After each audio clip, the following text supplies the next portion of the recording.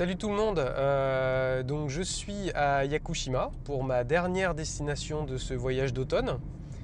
Euh, donc comme je disais dans la dernière vidéo, euh, je, venais à Yakushima. Là je viens de terminer mes 8 jours, mes 8 jours à Yakushima. Demain je pars et je rentre en France.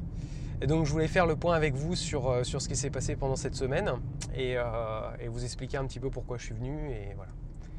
Alors, euh, Yakushima, déjà, c'est une île qui est dans le sud du Japon, euh, qui est au sud de Kyushu, en fait, à une heure, de, une heure deux heures de bateau. Euh, voilà. elle est surtout connue parce qu'elle a inspiré, les, forêts ont inspiré le studio Ghibli pour le film Princesse Mononoke. Et toutes les forêts sont classées au patrimoine mondial de l'UNESCO, donc elles, sont, elles, sont, vraiment magnifiques. Yakushima, en fait, c'est un volcan euh, éteint depuis très longtemps, qui s'est un peu effondré, donc il y a une caldeira. Et, euh, donc, euh, voilà, en fait, c'est un, volcan, éteint. Et donc sur Yakushima, il y a des singes. Et pourquoi venir les voir particulièrement eux? Déjà parce que c'est une, une sous-espèce. D'ailleurs, on l'appelle le Yakuzaru. Salu, en fait, en japonais, ça veut dire singe. Donc Yakuzaru, c'est le singe de Yakushima. Donc c'est une sous-espèce qui a une tronche un peu différente en fait des, singes qu'on peut voir dans le reste du Japon, avec des poils beaucoup plus longs, euh, vraiment des trognes, des trognes vraiment incroyables. Euh, un poil beaucoup plus long, euh, un peu plus gris clair, j'ai l'impression. voilà, donc déjà voilà, ça, ça valait le coup de venir les voir pour ça. Et pour aussi autre chose, c'est que les singes ont pris l'habitude de monter sur le dos des daims, parce qu'il y a pas mal de daims sur l'île. Et en fait, les daims suivent les singes parce que les singes font tomber énormément de fruits de, des arbres. Et ensuite, les, daims, euh, les singes montent sur les daims. Donc ça, je devais observer ça, je devais prendre ça en photo, ce qui n'est pas facile du tout. Euh, je l'ai vu plusieurs fois quand même. Bon, après, j'ai trouvé une, méthode pour, euh, pour, plus facilement approcher les daims et le voir. Parce qu'en fait, les singes, eux, tranquille, euh, les, gens, ça les dérange pas. certains groupes. D'autres groupes, ils s'enfuient tout de suite, mais il y a des groupes qui ne sont pas du tout euh, euh, inquiétés par les, par les humains.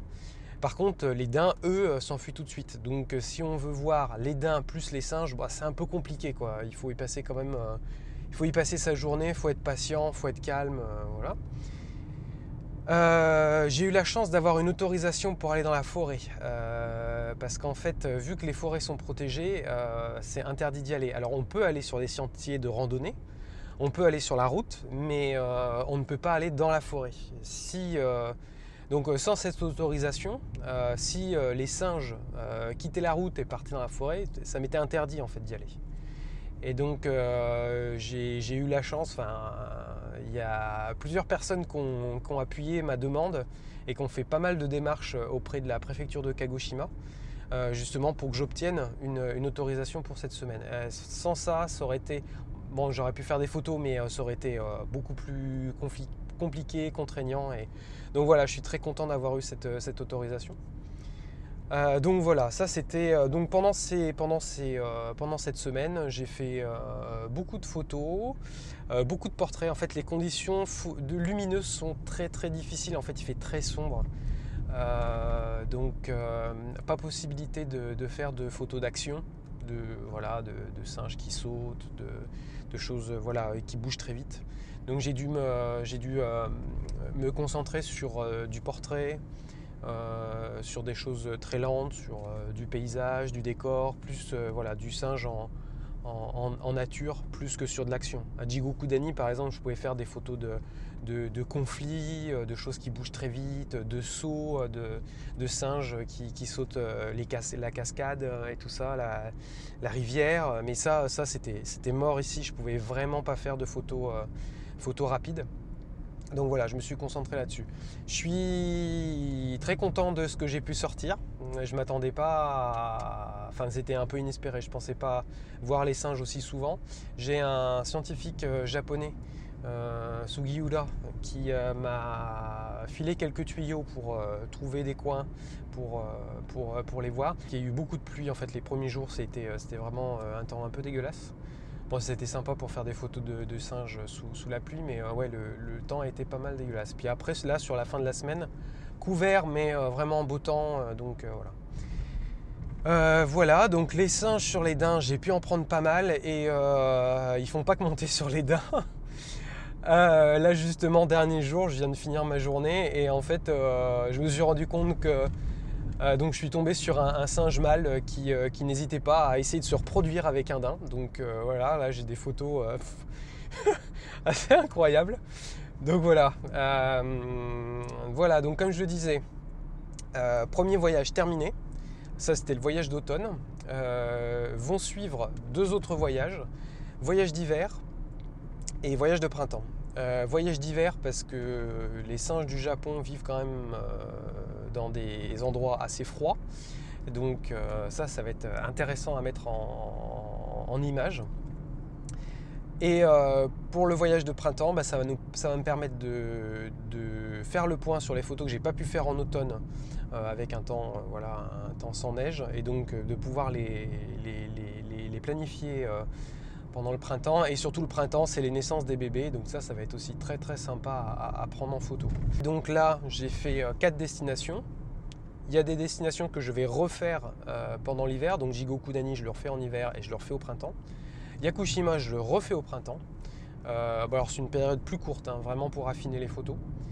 Et euh, vont venir euh, trois nouvelles destinations que j'ai pas encore faites. Euh, et dans ces trois destinations, et eh ben, c'est trois coins que je connais pas du tout. Donc là, ça va être sympa. Un, deux, deux, en hiver, deux en hiver et un au printemps. Et là, il y a aussi de, super choses à voir, avec encore des comportements, des comportements assez sympas. voilà, donc comme je vous dis, automne, printemps, automne, hiver, printemps. Euh, donc euh, je ne vais pas poster les vidéos en, direct en fait. Euh, pour plusieurs raisons. Déjà parce qu'il va y avoir des battements de deux mois pendant lesquels je ne vais pas faire de photos. Donc ça va, ça va être long si vous voulez connaître la suite. Donc ce que je vais faire c'est que je vais poster les photos, les vidéos. Je vais poster les vidéos sur YouTube une par semaine, une par chaque destination. Donc comme ça ça permettra d'avoir quelque chose de régulier. Et puis moi, de toute façon, j'ai pas le temps ici de, monter, les, monter les vidéos. Ça, c'est clairement impossible. Et pour une autre raison, en fait, c'est que euh, là, on est, euh, on est en novembre 2015. Euh, le livre va sortir en octobre 2016. Et on n'aimerait pas que ça donne des idées à un autre éditeur, en fait de voir voilà en octobre en octobre 2015 une vidéo enfin si un éditeur tourne dessus en se disant ah oui tiens les singes du Japon c'est une bonne idée euh, et si je faisais un livre? Alors ça, ça, ça serait vraiment très problématique pour nous parce que euh, on est une toute petite maison d'édition, on ne peut pas sortir beaucoup de bouquins par an. Alors si en plus euh, on sort un bouquin et qu'il y a un éditeur qui fait un bouquin avant nous et qui nous, nous vole un peu le marché entre guillemets, euh, notre bouquin risque de ne pas se vendre et euh, par rapport aux investissements qu'on a fait en temps et puis en argent aussi, ça serait vraiment, vraiment, vraiment négatif pour nous, surtout que l'année prochaine, on va peut-être sortir que ce livre-là. Donc, euh, donc il y, a, pas mal, y a pas mal d'enjeux en fait pour nous.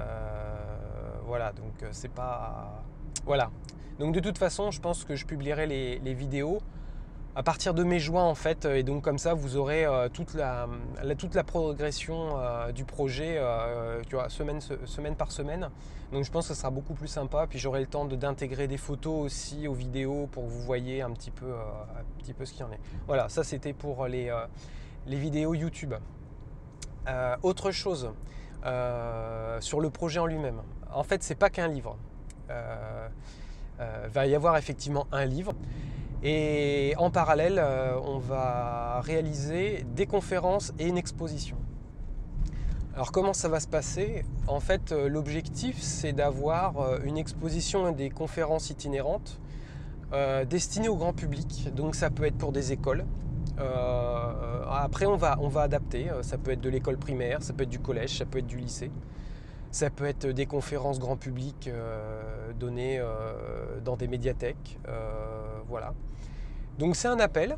Euh, si vous êtes professeur des écoles ou en collège ou en lycée, euh, si vous êtes documentaliste, si ce projet vous intéresse, si vous avez envie d'avoir une, conférence qui vient en parler, conférence avec Cédric et Marie, donc Primato, et puis moi qui pourra parler de, de plus l'expérience photo, de l'expérience de terrain.